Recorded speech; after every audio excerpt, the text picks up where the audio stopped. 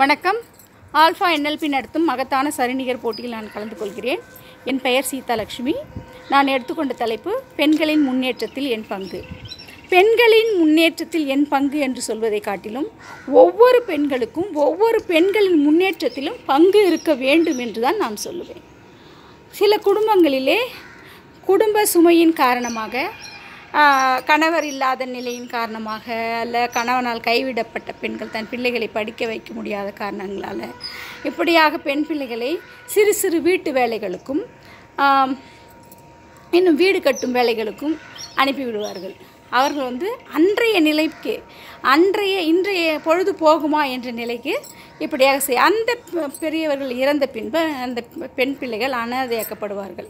அப்படி இல்லாமல் நம்ம என்ன செய்யணும்னா அப்படியாக வேலைக்கு அனுப்பும் பெண் பிள்ளைகளை நம்ம உற்று நோக்கி இப்போ இலவசமாக எவ்வளோ படிப்புகளுக்கு கவர்மெண்ட்டில் நிறைய சலுகைகள் அரசாங்கம் செய்து வருகிறது பெண் பிள்ளைகளுக்காக.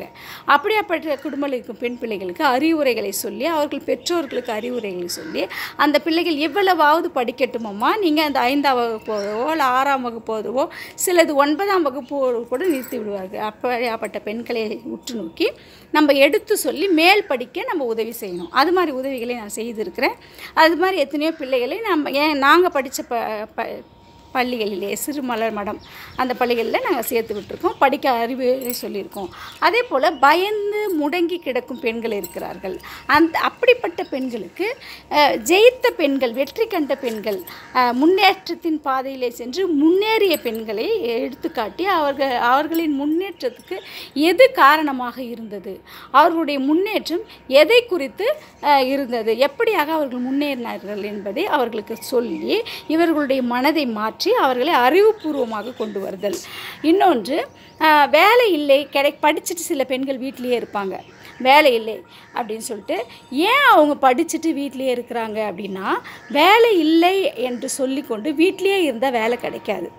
அதாவது ஒரு சிலர் விழுந்துட்டாங்கன்னா விழுந்த இடத்துலையே இருந்தால் அது வந்து வெற்றி ஆகாது விழுந்த இடத்துலேருந்து எழுந்துக்கணும். அப்போது இவங்க குடும்பத்தை விட்டு வெளியே உலகபூர்வமாக வெளியே வரணும். வரும்போது அவர்களுக்கு வேலைகள் அமைக்கணும். இந்த படித்த படிப்புக்கு இல்லை வேலை அப்பொழுது கிடைக்கவில்லை என்றாலும் நம்மளுக்கு தெரிந்த வேலையை இல்லை கற்றுக்கொள்ளவாவது செய்ய ச- சம்பளம் கம்மியாக இருந்தால் கூட கற்றுக்கொள்ளலாம்.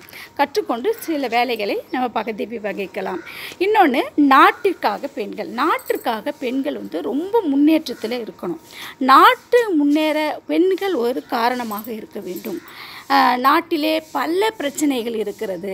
இப்போ கொரோனா காலகட்டம் நம்ம போகும் போகும் போகும்போதும் வரும்போதும் நிறைய பேர் வந்து சில தெளிவான முடிவுகள் இல்லாமல் மாஸ்க் போட மாட்டாங்க கையை கழுவ மாட்டாங்க. அது மாதிரி ஒரு சிலர் வெளியே இருப்பாங்க. அப்படியாப்பட்டவங்களுக்கு பெண்கள் துணிச்சலாய் போயிட்டு அவங்கக்கிட்ட என்ன சொல்லணும் அப்படின்னா நீங்கள் மாஸ்க்கை போடணும். தற்காப்பை நீங்கள் பயன்படுத்தணும். தற்காப்பு முறைகளை நீங்கள் பயன்படுத்தணும். அப்படின்னு சொல்லிட்டு அடுத்தவங்களுக்கு எடுத்து சொல்லணும். ஒழுக்கத்தை எடுத்து சொல்லணும். அதாவது ஒழுக்கத்தின் மூலியமாக பெண்கள் எவ்வளோ நல்ல குடும்பங்களை வகிக்கலாம். புரியுதுங்களா? ஒழுக்கம் மிக மிக அவசியம். அதுபோல் ஒழுக்கத்திற்காக நம்ம பாடுபட வேண்டும். பெண்கள் முன்னேற்றத்தில் என்னுடைய பங்கு குறிப்பாக இருக்கிறது என்னவென்றால் அவர்களுடைய திறமை என்ன என்பதை அறிந்து கண்டுபிடித்து அவர்களுடைய திறமைக்கு முக்கியத்துவம் கொடுத்து அதை ஊக்குவித்து அவர்கள் அந்த திறமையின் மூலியமாக வெளியே கொண்டு வருதல். இது வந்து எத்தனையோ பெண்களை நான் செய்திருக்கிறேன். அதே போல் சி சிறு தொழில். சின்ன சின்ன தொ- வயதானவர்களுக்கு இப்போ எந்த கம்பெனியில் போனாலும் வேலை க கொடுக்கறதில்ல. வயதான பெண்கள் எப்படி அப்படின்னா அவங்களால செய்ய முடியாத வேலைகள் அப்படின்னு சொல்லிட்டு அவங்களுக்கு குறைந்த ச- வருமானம் கொடுக்குறாங்க. சரி அது இருக்கட்டும் பரவாயில்லனா நரைமுறை முடி வந்தவுடனே அவங்கள வேலைக்கே சேர்க்க மாட்டுறாங்க அந்த மாதிரி சூழ்நிலையில் நான் என்ன செஞ்சுருக்கேன் அப்படின்னா என்னால் முடிஞ்சது சிறு தொழில் அதாவது ஊதுவத்தி அதை சென்ட்டு போட்டு வயதான முதியவர்களிடம் கொடுத்து அவர்கள் அதை பேக் பண்ணி எண்ணி கவரில் போட்டு பேக் பண்ணி அவர்களுக்காக சிறு என்னால் முடிந்த ஒரு சம்பளமாக அவர்கள் கொடுக்கும்போது அவர்களுடைய தேவைகளை இப்போ ஒரு சுகர் பேஷண்ட்டாக அதுங்க அவங்க மா மாதத்துக்கு மாத்திரை சாப்பிடணும். ஸோ அந்த மாத்திரை வாங்குறதுக்கோ இல்லை தனித்து விடப்பட்டவர்களாக இருந்தாலோ குடும்பத்திலிருந்து விலக்கப்பட்டவர் மடங்களில் இருந்தால் அவர்களுக்கு ஏதோ கொஞ்சம் உதவும். அது மற்ற சிறு உதவிகளை என்னால் முடிந்ததை நான் செய்து வருகிறேன். பெண் முன்னேற்றம். அப்படி இன்னும் பார்க்கணுன்னா நிறைய எக்ஸாம்ஸ் வருது. படித்த பெண்களுக்கான எக்ஸாம்ஸு அது வந்து நிறைய பேர் விழிப்புணர்வோடு பார்க்குறது கிடையாது.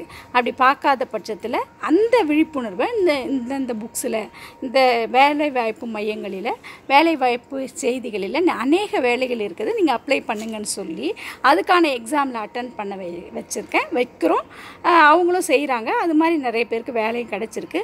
ஆரம்பத்தில் வந்து டெம்பரவரியாக வேலை செய்வாங்க. அவங்களுக்கும் ஒரு பெர்மனண்ட் ஆகும்போது ஒரு சந்தோஷமான ஒரு சூழ்நிலை ஏற்படுகிறது.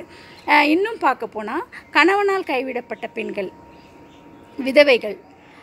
இந்த மாதிரியான பெண்களுக்கு அரசாங்கம் கொடுக்கின்ற நல்ல சட்ட திட்டங்களின் மூலியமாக கிடைக்கும் உதவிகள் என்ன என்ன என்று பார்த்து அவர்களுக்கு அந்த உதவிக்கு வந்து சேர நாங்கள் உதவி செய்கிறோம் அதை சொல்லுவோம். எங் நான் உதவினாவே ஃபஸ்ட்டு அவங்களுக்கு தெரிவிக்கிறது ஃபஸ்ட்டு உதவி தான். அது மாதிரி தெரிவித்து அவங்க அதுக்கு ஊக்கமாக இருப்பார்களே ஆனால் அவர்களுக்கு அவர்களோட சென்று இந்த உதவிகளுக்கு நாங்கள் ஏற்பாடு செய்வோம் மனு கொடுப்போம். கலெக்டர் ஆஃபீஸ் கூட்டு போவோம். அப்புறம் ரேஷன் கார்டு. அது ஒரு சிலர் வந்து குடும்பமாக இருப்பாங்க. இன்றைக்கி வரல ரேஷன் கார்டு இருக்காது ஆதார் கார்டு இருக்காது. அண்ட் அவங்கக்கிட்ட வந்து பேன் கார்டு இருக்காது. இல்லை சில முக்கியமாக சில பேருக்கு பேங்க் அக்கௌண்ட்டே இருக்காது. பேங்க் அக்கௌண்ட்டே இல்லாத போது அவங்க என்ன செய்வாங்கன்னு பார்த்தா என்ன செய்வாங்க? ஒன்றுமே தெரியாது. எப்படி பணத்தை சேவ் பண்ணுறது எப்படி நம்ம வந்து அதை வந்து செலவு பண்ணுறது எப்படி அப்படின்னு சொல்லிட்டு தேவையில்லாமல் செலவு பண்ணுவாங்க. அவங்களுக்கு செலவின் அர்த்தம். இது இதுக்கு நல்ல செலவு செய்யுங்க? நல்ல உதவிகளை செய்யுங்க என்று சொல்லுவோம். இப்படியாக பெண்களின் முன்னேற்றம் எப்படியெல்லாம் பெண்கள் முன்னேற வைக்க வேண்டுமோ அப்படியெல்லாம் நாங்கள் அந்த பெண்களுக்கு முன்னேற்றத்திற்கான வழிகளை நாங்கள் எடுத்து சொல்லுவோம் இப்படியாக என்னுடைய பங்கு இருக்கும். எந்த இடமானாலும் எந்த அது போலீஸ் ஸ்டேஷனாக இருக்கட்டும் கலெக்டர் ஆஃபீஸாக இருக்கட்டும் ஒரு பொது இடமாக இருக்கட்டும் பெண்களுக்கு ஒரு அநீதி இழைக்கப்படுகிறது என்றால் பெண்களை கேவலமாக பேசுகிறார்கள் என்றால் அந்த இடத்திலே நின்று சட்டப்படி கேள்வி கேட்டு சட்டப்படி தண்டனை வாங்கி கொடுக்கும் ஒரு இடத்திலே ஒரு பெண் நிச்சயமாக இருக்க வேண்டும். அப்போ தான் பெண்கள் முன்னேறி விட்டார்கள் என்று அர்த்தம். அப்போ காந்தி வாங்கின சுதந்திரம் வேஸ்ட் இல்லையா?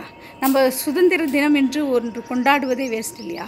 பயந்து பயந்து ஒளிஞ்சு ஒளிஞ்சு அடுப்படியிலே கிடக்கிற பெண்களை கொண்டு வரணும் இல்லையா? அவங்கக்கிட்ட இருக்கிற திறமையை ஆல்ஃபா என்எல்பி எப்படி ஒவ்வொரு பெண்கள் எடுக்கும் இருக்கும் திறமையை எப்படி வெளியே கொண்டு வருகிறதோ எப்படி கொண்டு வந்து அவர்களுக்கு ஒரு பரிசு அளிக்கிறதோ அவர்களுக்கு ஒரு அதாவது கிஃப்ட்டுன்னு சொல்லாமல் ஒரு சர்டிஃபிகேஷன் கொடுத்து அவங்கள மேம்படுத்துகிறதோ அது மாதிரியாக சில நல்ல காரியங்களை நம்ம செய்யணும். முதியோர்களுக்கு நல்ல உதவிகளை செய்யணும்.